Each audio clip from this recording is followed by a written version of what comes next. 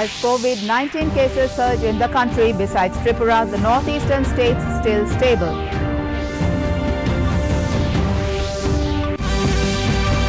The country sees a spike of 3,277 cases and 127 deaths in the last 24 hours.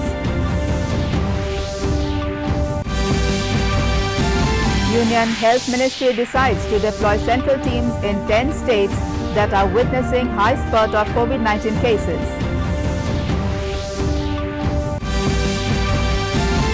Manipur Chief Minister N. Biren Singh extends warm greetings to all mothers across the state on the occasion of Mother's Day.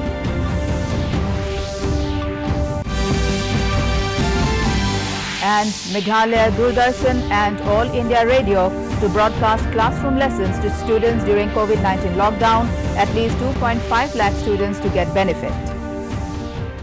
Good evening viewers and welcome to the Northeast News Bulletin. This is Ajanta Chaudhary. Now with the details. According to a tweet by the Health Minister, Dr. Himanta Biswa Sarma, late at night on 9th of May, three people including an ambulance driver from Mumbai who drove the two tested COVID-19 positive. The driver has been sent back to Mumbai while the other two patients are at Jorhat Medical College Hospital since their arrival in Jorhat. The minister clarified that the ambulance entered the state with uh, proper permission. Besides the driver, one is a blood cancer patient and the other a caretaker. Barring the three states of Tripura, Assam and Meghalaya, the COVID-19 status is stable in rest of the northeastern states. Despite 24 hours efforts, corona cases are still rising in Assam. Both centre and state government are increasingly concerned. Our reporter Kamal Bora has filed this story. Do have a look. In Assam, the COVID-19 scenario is worsening every day. In the last few days, we have seen that the number of positive cases uh, are being detected continuously and at this moment, the total number of positive cases has stand at 62 uh, and uh, yesterday evening also we have seen three new cases have been detected in the evening. Uh, three, person, three uh, persons were coming from uh, Mumbai to Jorhat. They had been detected as positive cases and with that only the total number right now stands at 62. And uh, in view of this worsening situation, the state government is taking all possible measures. Right now they are eyeing on the community surveillance program across the state. Already this is in the process. Uh, under this uh, community surveillance program, new blood samples uh, will be collected, door-to-door -door screening will be done, and uh, th this will be done uh, in view of this worsening situation because state governments effort is on to contain the spread of this coronavirus right now. And uh, what we saw in the B. Borooah Cancer Institute, which was uh, which was restricted uh, due to one 16-year-old uh, girl died inside the campus who was a victim of this COVID-19. Uh, the the patients who were admitted there, uh, they will be treated. Uh, though new new admissions will not be done, uh, the existing pa patients uh, to get chemotherapy and other related treatments from Monday. So this is the development right now going on. Though new cases are being detected. No red zone has been uh, declared in any part of the state. This is the positive news at this moment. This is Kamal Bora from Guwahati for DDO. The number of COVID-19 cases in the country has gone up to 62,939, while the death toll rose to 2,109. Health Ministry data issued this morning said the number of active COVID-19 cases stood at 41,472. There has been a spike of 3,277 cases and 127 deaths in the last 24 hours. As many as 19,358 people have been cured and discharged so far. The Union Health Ministry has decided to deploy central teams to 10 states that are witnessing high case load and high spurt of COVID-19 cases. The teams will assist the state health departments to facilitate management of COVID-19 outbreak. The states are Gujarat, Tamil Nadu, Uttar Pradesh, Delhi, Rajasthan, Madhya Pradesh, Punjab, West Bengal, Andhra Pradesh and Telangana. These teams will support the State Health Department in implementation of containment measures in the affected areas. These teams are besides the 20 central teams of public health experts who were earlier sent to the high case load districts. The massive evacuation operation Vande Bharat mission to bring back stranded Indian nationals in several countries due to coronavirus outbreak continues in full swing on the fourth day today. A Vande Bharat mission flight from Kuala Lumpur arrived at Trichy International Airport last night with 177 passengers. This is the third aircraft to land in the state with the evacuees from abroad. Likewise, a flight carrying around 180 people reached Chaudhry Charan Singh Airport in Lucknow yesterday evening.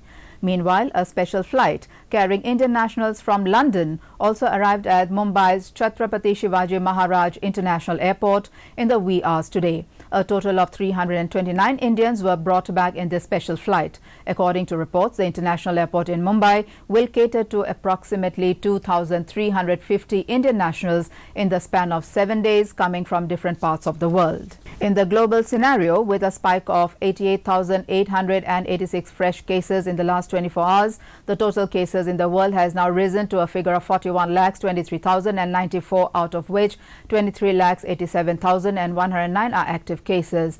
As per data, 54,656 have recovered in the last 24 hours, while the total death toll reached 22 lakhs, uh, I beg your pardon, 2 lakhs 83,031. Manipur Chief Minister inspecting repairing work at Ima Keithel on the occasion of Mother's Day extended warm greetings to all mothers across the state. Recognizing the patience, strength and unconditional love and support of a mother, Chief Minister N. Biren Singh shared his warm greetings to all mothers for their indomitable spirit. He opined that we should seek blessings and pay rich tributes to all our mothers on such a special day and shared his greetings during his visit to inspect the ongoing repairing work at Ima Keithel, Imphal today. Taking advantage of the current national nationwide lockdown, the repairing work was taken up at the historic Ima Keithel by the IMC since 22nd April 2020. Meghalaya Deputy Chief Minister Preston Tynsong has made it clear that there is no question of opening Iewduh and Police Bazaar immediately. It may be mentioned here that it has been nearly two months that the two major commercial hubs of the city are closed down due to the ongoing COVID-19 pandemic. Tynsong said that it is uncertain when the administration is going to open Iewduh Market and Police Bazaar since the state again has two more active cases. On the other hand, Tynsong indicated that the Meghalaya government is likely to promulgate night curfew along the international border with Bangladesh across the state. Doordarshan and All India Radio will now broadcast classroom lessons to students in Meghalaya in view of the COVID-19 lockdown.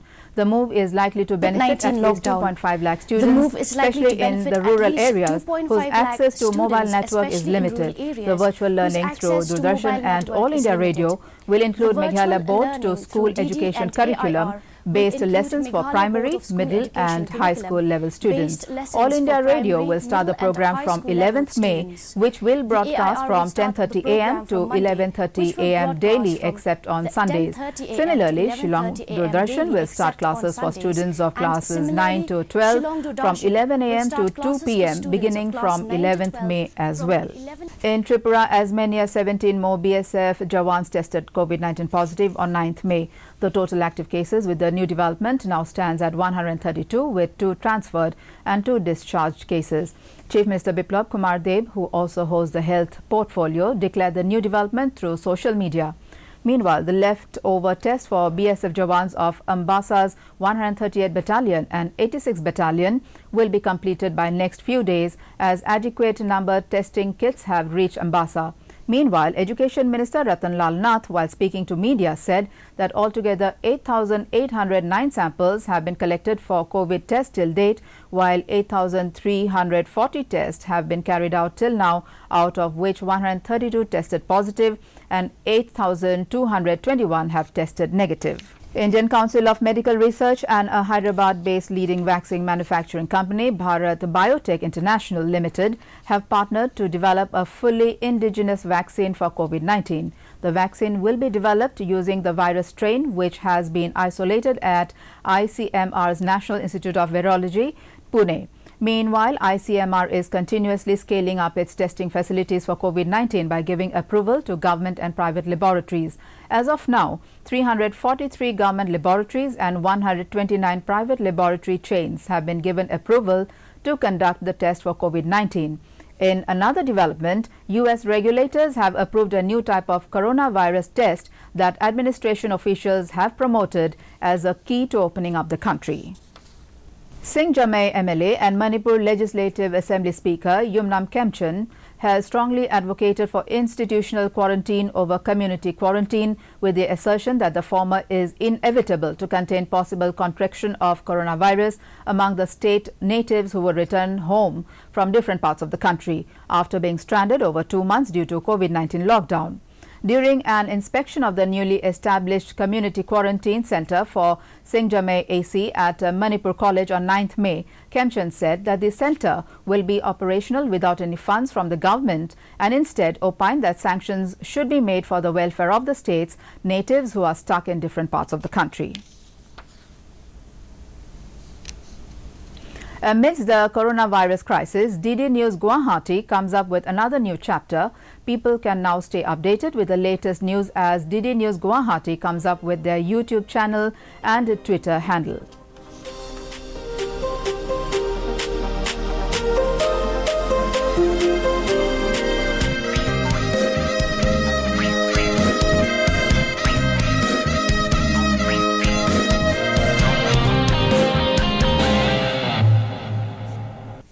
And finally, to end the news, the headlines once again. As COVID-19 cases surge in the country, besides Tripura, the northeastern states still stable.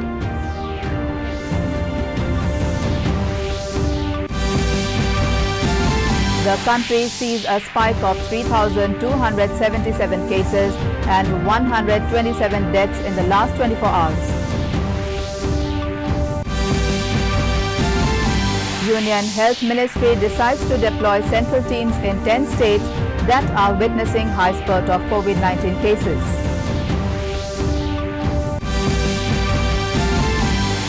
Manipur Chief Minister N. Biren Singh extends warm greetings to all mothers across the state on the occasion of Mother's Day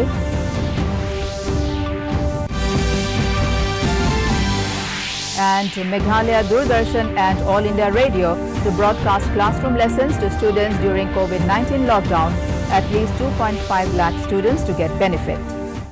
And that brings us to the end of this evening's bulletin. Thank you for tuning in. Namaskar.